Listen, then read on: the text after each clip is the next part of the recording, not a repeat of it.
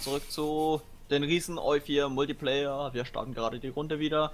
Und hier sieht ihr den Parker-Panzer, der hat jetzt übrigens ein neues Mikrofon, deswegen wird er mal wieder in Videos vorkommen, weil er jetzt so richtig erotisch klingt und... Ihr werdet ihn nicht wiedererkennen. Ja, das ist wirklich so. Also Lukas hat jetzt eine richtig schöne, neue, klare Stimme. Und er ist auch ein Admin und... Ja, sind wir froh drüber, dass wenigstens jemand auch Admin ist, von dem wir wissen, dass er die Sache ernst nimmt. Ja. Huch, was war denn das jetzt? Mali wird Kaiser.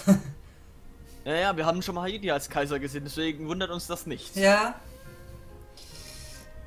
So, und damit auch von mir ein äh, herzliches auch und herzlich willkommen zurück zu Eu4, der große Multiplayer. Ja, die Kriege sind überstanden. Schuldenfrei bin ich noch nicht, aber ähm, bei weitem noch nicht. Ah, wir müssen jetzt momentan ein bisschen aufrüsten, von der Technologie her ein bisschen hinterherkommen, wobei es jetzt, ich würde sagen, langsam geht's voran bei uns. Wir haben halt am Anfang wegen den ganzen Kriegen, die haben uns zurückgehauen, auch technologisch, etc., aber militärisch komme ich hinterher. Administrativ wird es ein bisschen noch dauern, weil ich jetzt erstmal gegen die Ainu marschieren muss und dem was wegnehmen muss, bevor sie sich hier zu sehr ausbreiten und dann haben wir eigentlich Japan gut unter Kontrolle. Ja.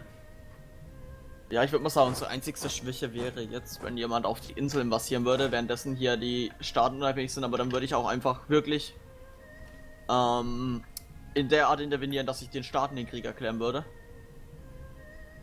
Also die, die der andere den Krieg erklärt hat und uns einfach schnell überrennen würde. Ja. Auch wenn ich bloß momentan äh, nur auf 5000 Mann zurückgreifen kann. Ach du Scheiße, das sind Söldner. Oh mein Gott. Ja, ja, unsere Länder sind mit, äh, ziemlich am Arsch.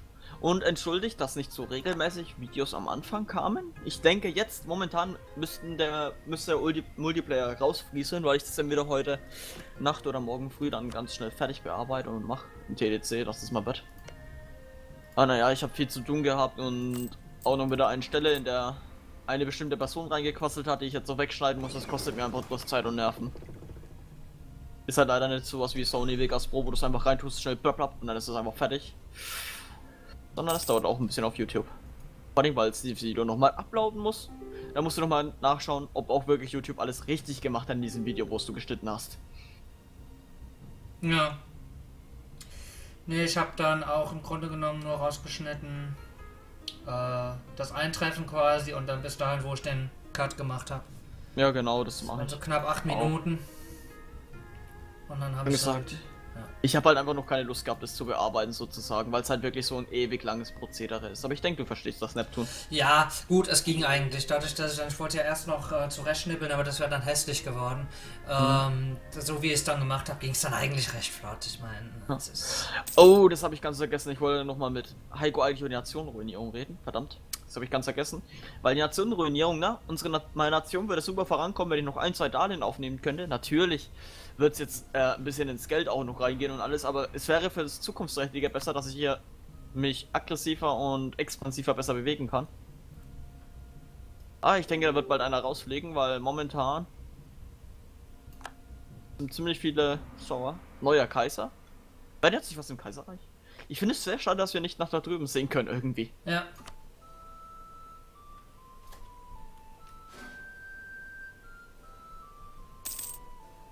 Aber das kommt. Ich kann jetzt schon gucken bis nach. Ne, Indien, äh, Indien kann ich schon ganz sehen und ich kann den Oman sehen und Baluchistan hinten. Ne? Und den Balutschistan, ja, sehe ich auf der Karte. Oman sehe ich hier, Hormuz sehe ich. Ja, und Maskat. und, und Maskat, genau das sehe ich auch. Wir werden, glaube ich, die, genau die gleiche. Komm, ich kann mir jetzt gar nicht nachvollziehen, warum.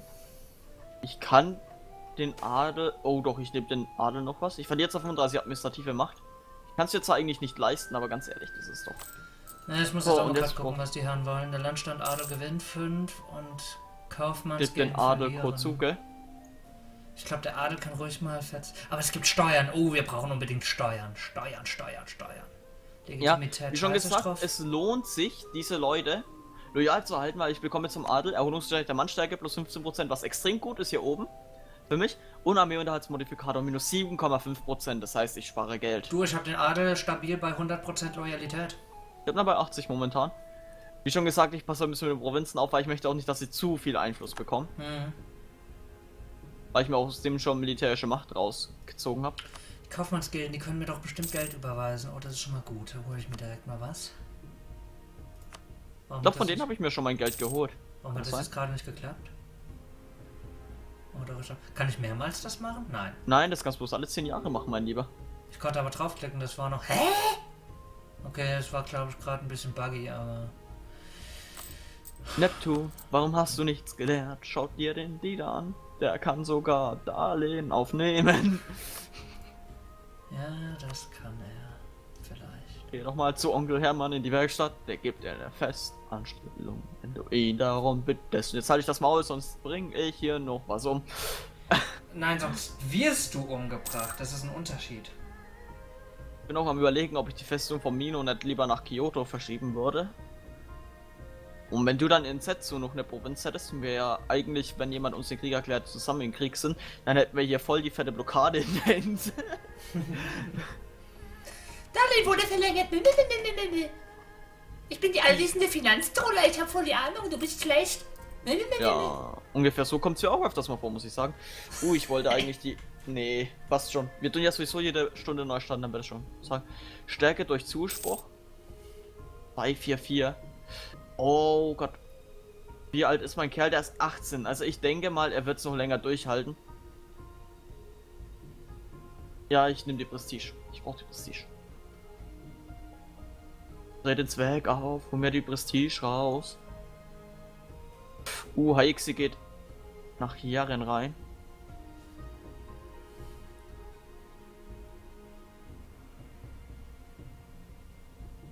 Mhm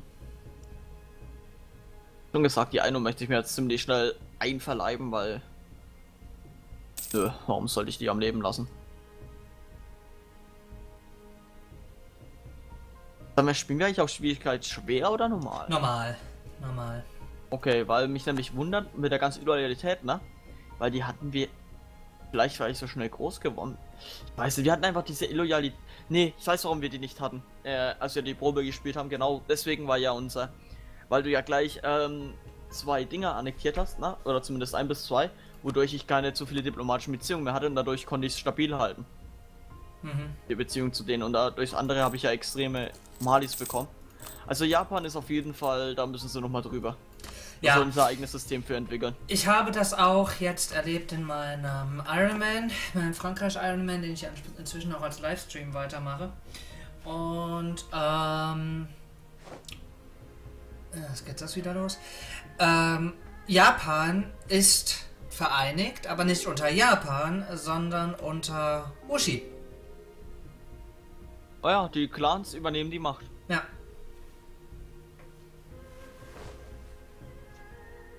Der Shogun hat kein Sagen mehr. Ja, was heißt, er hat kein Sagen mehr? Er hat einfach keine Macht mehr. Der kann sich dagegen gar nicht wehren. Aber ich sag's mal hm. andersrum. Ich glaube, wir können so ein bisschen froh sein, dass dadurch mal, dass dadurch, dass ich rausgeflogen bin, dass ähm, dadurch das Gleich Kräftegleichgewicht so ein bisschen aufgehoben wurde. Weil ganz im Ernst, ich glaube, wir würden jetzt noch in dieser Pattsituation sitzen, mehr oder weniger. Nee, lau. Ich habe doch gesagt, wir hätten den Masterplan einfach angewandt. Dadurch hätte ich äh, mit dem Frieden erzwingen, ne? Ja, gut. Und dadurch hätte ich ja ähm, eine Beziehung, hätte ich ja zwei Beziehungen weniger gehabt. Ja. Weil die anderen ja als Vasallen freigekommen wären, was, ich, was mich auch nicht gestört hätte. Und dadurch wären alle anderen loyal geblieben mir gegenüber. Ja, das stimmt allerdings. Es war ja sozusagen unser Masterplan, der hat ja nicht geklappt. Ja. Oh, Ushi ja. hat einfach jetzt noch 9000 Mann. Die sowieso für uns nicht ganz so viele Soldaten, muss ich. Äh, nicht Soldaten, sondern einfach so viele Chancen momentan. Aber mal schauen, wie es klappt. Irgendwann wird Kaiser? Was? Keine Ahnung, was sie wollen. Ich kann ja das Kaiserreich nicht ansehen. Und mein nächstes Opfer wird dann wahrscheinlich Otomo sein, wobei ich da das Problem habe, dass die, ähm, dass die, dass die, dass die, dass der Anspruch. Oh, ein 533er, ja, der geht. Morohito, ja, du darfst Morohito heißen. Ich bin froh über meinen äh, Thronfolger 533. So eins im Militär weniger, aber dafür richtig gute Administrative und das ist, was er sich brauchen kann.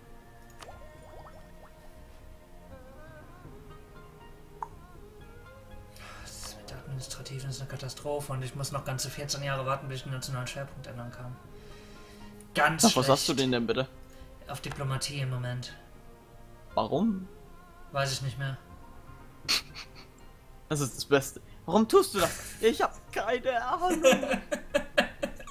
Ich weiß es echt nicht. Vor allen Dingen, ich konnte in den Aufnahmen auch nicht nachvollziehen. Als ich das gemacht habe, muss wohl gerade Aufnahmepause gewesen sein. Ich habe mir die ja alle nochmal angeguckt zum größten Teil. Weißt du, was mir aufgefallen ist? Ne. Irgendwie sind alle Clans, die übrig geblieben sind, haben sich miteinander verbündet.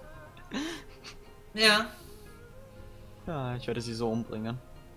Jetzt mache ich mir erstmal noch ähm, meinen Anspruch auf die Aino. Habe ich wenigstens das Richtige gewählt? Scheiße, ich habe Kamikawa und nicht Tokaichi gewählt. Wobei Tokaichi ist 111, da geht das schon. Und dann durch gegen die Ainu marschieren, da wäre es nicht schlecht, wenn ich trotzdem deine Truppen da oben hätte. Einfach bloß, dass wir sie ganz schnell zerschlagen hat, um Geld zu sparen auf unsere beider Seiten. Weil du bist ja trotzdem mit dem Krieg. Kriegssteuern sollten wir, glaube ich, eher nicht erheben. Ja, ja, gut, das kostet nur militärische Macht. Naja, militärische Macht ist auch wichtig, weil wenn wir Militärs äh, zurückhängen, haben wir auch Probleme. zurück. Ja. Ich muss gerade mal schauen, was Ainu für eine Flotte hat. Naja, Ming und Korea sind beide noch auf 4. In unserer Umgebung passen wir mit vier schon ganz gut dazu, aber wie schon gesagt, Ainu hat zwei Schiffe. Sie haben zwei Kocken. Also sind sie nicht. Doch, da haben sie noch was. Die haben noch fünf Handelsschiffe. Also, ich bin denen auf jeden Fall Flottenstärke her überlegen. Hab ich meinen Unterhalt von der Flotte noch oben? Und von der Armee, kann das sein? Ja, ich habe meinen Armeeunterhalt oben und den Flottenunterhalt habe ich auch oben. So. Kai, wann kann ich dir denn den Krieg erklären? 1468. Du bist mit Uchi und Shiba verbündet. Das wäre eigentlich an sich auch gar kein schlechter Krieg, muss ich sagen. Hadekayama ist mit Shiba und Shimatsu verbündet. Das würde uns, glaube ich, sogar noch besser passen. Was liefert der Klerus bei über 5% äh, Dings? was? 50% äh, Loyalität? Ähm, Ich probier's zwischen einfach. 30, das steht doch dort. Zwischen 30 und 60 Prozent Nationalsteuermodikator plus 5 Prozent und bei über 60 Prozent Stabilitätskostenmodifikator minus 2,5 Prozent. Muss ich zugeben, muss ich auch nicht. Also, das bringt schon was. Ich muss den Adel nicht höher als meine 60% Mäuse pushen, aber ja, es ist ganz gut. Gut, das brauche ich nicht. Dann lasse ich den Adel mal in Ruhe. Und was haben die Kaufmänner für mich auf Lager? Auch nix. Ja, der Adel ist im Moment wirklich hier mein. Oh, ich sollte auch nochmal. Naja, die Flotte ist zwar im Unterhalt ja unten, aber deswegen kann ich mir ja die Armee von Ainu anschauen. Weil ich möchte nicht gerade groß aufrüsten. Ich denke, das ist verständlich. Ja, Wie klar. schon gesagt, wenn wir zu zweit kämpfen, dann sollten wir das schaffen. Wir müssen halt bloß aufpassen, dass uns dann kein Clan in den Rücken fällt. Könnte mir sogar vorstellen, dass irgendeins dieser Bündnisse nach mir jetzt den Krieg gleich erklärt, wenn sie unabhängig sind, aber dadurch dummer sie dann uns einfach holen. Wird für den kein Vorteil sein. Ja, okay, die haben bloß, Ainu haben bloß 4000 Mann. Hm? Die Ainu haben bloß 4000 Mann. Ja. Dafür, dass sie so groß sind, na, na gut, die haben schlechte Provinzen oben. Das sind alles bloß 111er Provinzen. Im Oktober endet der Waffenstillstand mit Ushi. Das, Da endet der Waffenstillstand mit allen. Das ist scheiße, zu Deutsch gesagt. So. Ich muss aufrüsten. Ja, ich kann nicht großartig aufrüsten. Ich muss jetzt erstmal auf meine 5000 Mann bleiben und noch mindestens ein Darlehen zurückzahlen. Du, ich habe noch neun Darlehen. Ich tue sogar meine Armee mal ähm, prophylaktisch nach Hitachi bewegen. Weil nach Hitachi kommen sie nicht, solange sie nicht eine meiner Festungen eingenommen haben, sobald sie uns den Krieg erklären. Da ist meine Armee sicher, bis sie ihr Moral aufgefüllt hat, bei dir ja auch auf der Insel. Mehr oder weniger, ne? Ja, Ich weiß auch gar nicht, ob das bei unserer momentanen Lage so schlau ist, wenn du die Flotte stilllegst, anstatt nur die Moral runterzumachen, Neptun, weil eine Flotte, die wo wenig Prozent hat, die ist halt sehr schnell dann unten, ne? das ist richtig. An sich ist es ja gut Geld sparen, aber wir sind in der verzwickten Situation, so nenne ich es mal. Und wenn sie bei dir letzten Endes sind halt Tosa und wie heißt die andere Insel, aber gute Rückzugsorte für deine Armee, ne? Ja. Ich würde ja gerne nach Yukio kommen, aber. Vielleicht sollten wir uns doch erstmal überlegen, bevor ich die Ainu angreife, dass wir echt gegen die Clans gehen. Wenn wir uns das geldtechnisch leisten können. Ich meine, ich brauche fünf Monate noch, dann kann ich das nächste Darlehen abzahlen. Dann kriege ich noch mal mehr Geld. Verzwickte Lage, Leute, verzwickte Lage.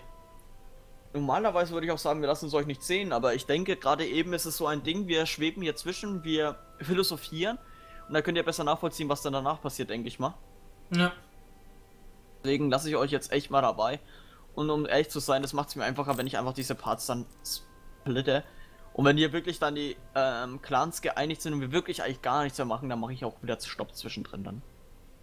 Das ist egal mir. Alter, was ist denn... Wie hat ein Hikes das geschafft, sich so weit auszubreiten? Welt ist im Wandel. Sauron benutzt Sauron als Marionette, um die... Mir ist aufgefallen, Indien ist ganz raus. Und Thailand. Ja gut, die werden halt heute einfach nicht gekommen sein. Entweder sind die angepisst mit den Regeländerungen. Kann gut sein. Dass sie dann kein Ding mehr gesehen haben. Wobei sich Thailand und Indien, na, die hätten äh, ziemlich gutes Bündnis machen können zusammen. Ja. Auch gegen Ming. Weil Ming ist nicht so stark, wie man denkt. Die Ming-Truppen, die haben eine extrem schlechte Moral. Das hat Mike schon mal erleben müssen, als er dachte, er wäre um einiges stärker als ich. Und dann habe ich damit, glaube ich, mit 6.000, 7.000 Mann habe ich sein riesiges Heer aufgehalten. Dann kam Neptun und dann war es endgültig vorbei, als du... Wie hieß nochmal dann dein Land danach? Das... Ähm. Mau... Mau... Mo Mu, nee. Maugalreich? Mugalreich. Mugalreich, genau. Hier. Also das war sehr geil. Ich glaube, das war sogar unser erster Multiplayer zusammen in euch 4, ne? Nein. Äh, obwohl, in euch Doch. 4 das kann sein, aber es war unser war der erster erste euch 4 Ostmultiplayer. Multiplayer.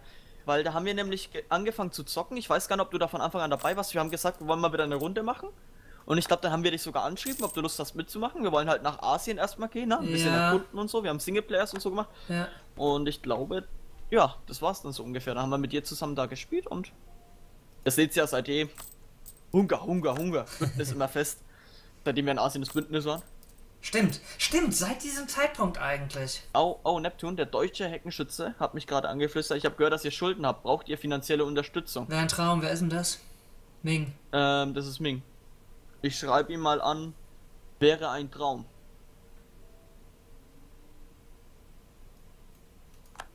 Ich suche gerade Ming, muss ich sagen. Ah, da ist er. Das wäre ein Traum. Gut, vielleicht will er sich mit uns ja gegen Korea verbinden oder sowas. Ja, ich muss sagen, ähm, mit Ming zusammen wäre das, äh, wären wir ziemlich mächtig. Ja. Weil wir würden uns ja vom asiatischen Kontinent festhalten, er wäre wirklich ja die Festlandsmacht, währenddessen wir hier all die Inseln verwalten, weil Ming kann stark werden, wenn sie es schaffen, China zu gründen. Ja. Doch, Ming, kann Ming im Original China gründen? Ich glaube schon, oder? Ich glaube schon. Ich meine ja. Ich würde jetzt normalerweise raustappen, aber das wäre mir zu gefährlich und schnell in die Events nachschauen. Äh, das ist riskant. Okay, 0,08 hat es jetzt ausgemacht. Ich habe gerade ein Darlehen abgezahlt. So. Alle Koalition gegen Österreich. Was ist denn da drüben los? Schreib mal kurz Mike an. Also flüstern am besten im normalen Chat an von euch, Ja. was los ist. Ich mach's auch mal. Ja, Ah, gut, das du kannst dir ja dann weiter sagen. Der Ach Benutzer du an heilige Scheiße. konnte nicht gefunden werden. Ich habe ihn gerade eben hier angeschrieben. Ich muss mich bei Ming bedanken. Ming hat mir gerade 500 Dukaten geschickt. Oh, leit mal was weiter. Mach ich gleich, Moment.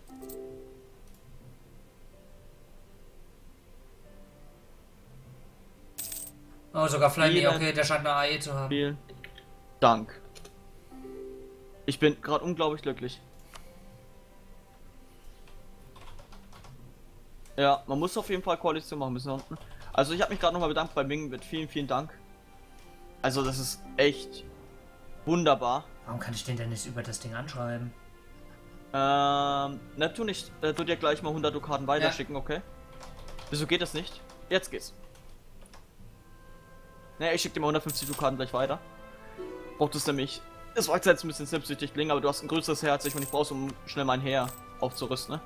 Genau jetzt ist nämlich der Waffenstillstand vorbei und. Jetzt rüste ich mal auf.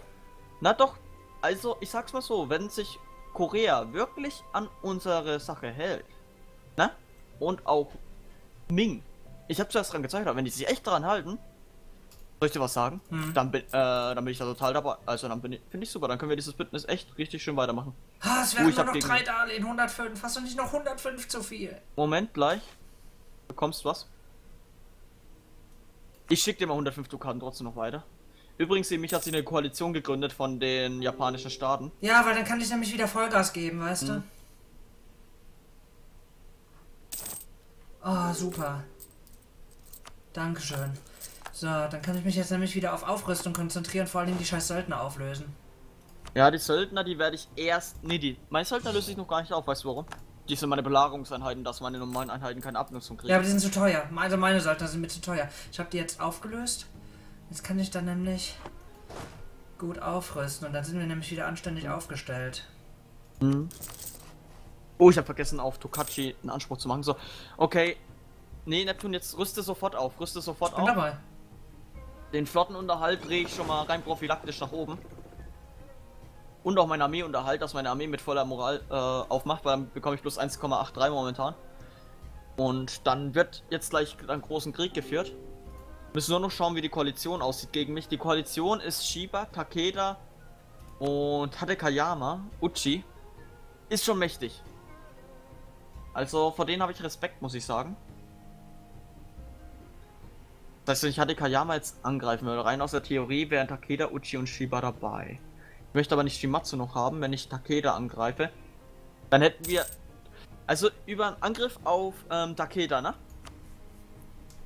Ja. Könnte ich. Ah, genau, dann über einen Angriff auf Takeda könnte ich uns gleichzeitig an einen Krieg gegen Uchi und Shiba noch holen und Hadekayama. Mhm. Dann würden wir diese gesamten Typen hier wegbumsen. Wäre doch schon mal was. Ja. So, dann machen wir mal auf Kosuke durch mal meine Einheiten vereinigen. Jetzt habe ich nämlich wieder ein einigermaßen starkes Heer. Wird Oshi mit in dem Krieg sein?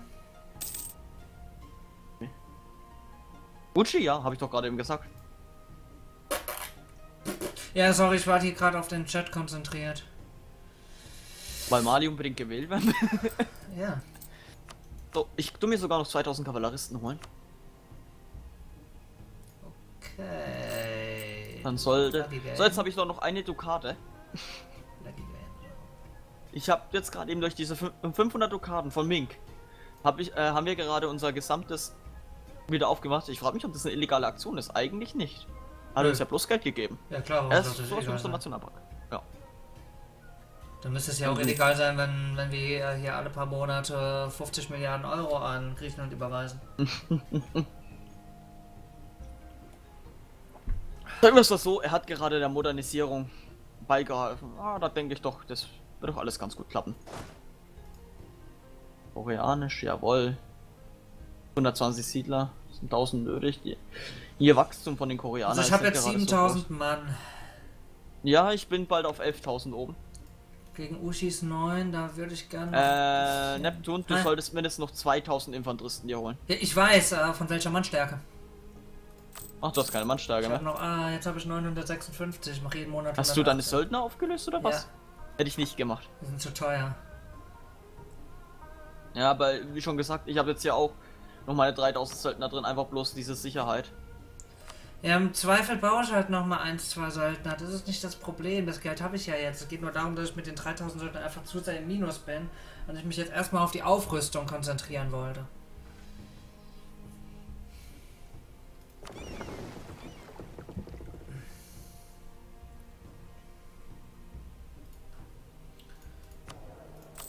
Überlege gerade, gibt es irgendwas, womit ich die Kaufmannsgilde noch ein, Gilden noch ein bisschen höher. Ah. Nee, eigentlich die. Der Klerus und die Kaufmannsgilden, die reichen mir vollkommen, wenn die bei 30% sind. Der Adel, der muss bloß immer über 60% bleiben.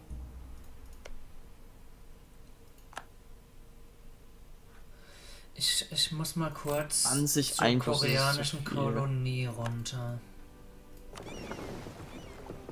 Steuern erheben, verlieren Loyalität. Weil ich könnte ich mir rein theoretisch leisten. Ja, das mache ich erst, wenn ich sie wirklich brauchen würde, die Soldatenzahl. Du, Geht das jetzt mal? Danke. Oh mein Gott. Bug Using vom Feinsten. was denn passiert? Ähm. Ich habe gerade, wollte gerade eine Infanterieeinheit ausbilden. Ich, das kann ich nicht machen, nein, das ist Using, das muss ich aufheben. Ähm, wieso? ich wollte gerade eine Infanterieeinheit rekrutieren. und hab draufgeklickt. Ja gut, das, das ist jetzt scheiße. Hab draufgeklickt, aber es hat nicht reagiert, weil es wieder kurz gehangen hat. Dann habe ich nochmal auf das Plus geklickt. Auf einmal hatte ich zwei Infanteristen in der Bauschleife. Obwohl ich nur Ja. für 1000 die Mannstärke gehabt hätte. Jetzt habe ich den einen wieder aufgehoben, weil es Bug-Using ist. Jetzt habe ich auf einmal die 1000 Mann gekriegt. Was soll ich jetzt machen? Nix, das ist halt so. Das ist kein Bug-Using gewesen, das ist halt einfach ein Leck gewesen, der zu einer Asynchronität geführt hat. Das passiert, da können wir nichts dagegen machen. Ja, dann hebe ich den jetzt aus. Auch wenn es mir jetzt gerade ein bisschen unangenehm ist. Leute, hasst mich bitte nicht dafür. Es ist sonst nicht meine Art. Viele Soldaten du den Uchi liefern. Das Problem ist, diese Koalition hat zusammen nämlich viel mehr Soldaten als wir. Ich entschuldige mich. Hm. Moment, so. Mund leer. Ich entschuldige mich mit der Tatsache, dass ich bei, in der ersten Folge rausgeflogen bin aus dem Spiel und dadurch alles kaputt gemacht wurde. So, das ist jetzt ausgleichende Gerechtigkeit. Punkt Ende basta. Neptun, Was? ich habe einen kleinen Plan. Und sag nicht so böse wahr. Und zwar, wie wir den Feind um 9000 Mann erstmal erleichtern können. Bevor wir Krieg erklären oder so, wirst du deine 8000 Mann hoch nach Ichiko schicken. Das Oder halt deinen vollkommen aufgerüstetes Heer. Warte bin in der Aufnahme. Ding? Ichigo? Ach da. Mhm. Moment, warte mal kurz.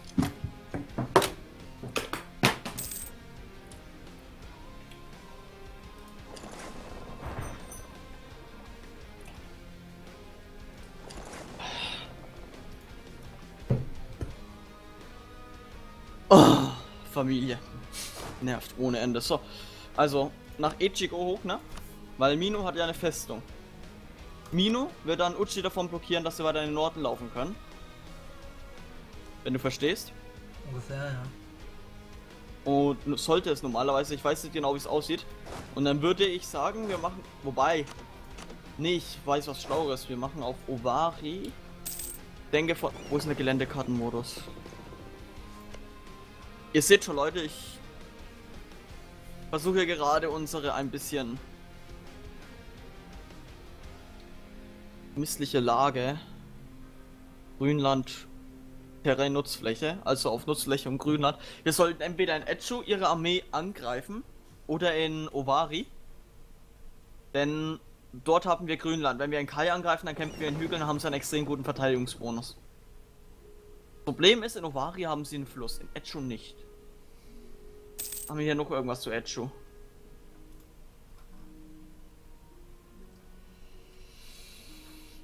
Es siehst einen Fluss zwischen Ichigo und Echu.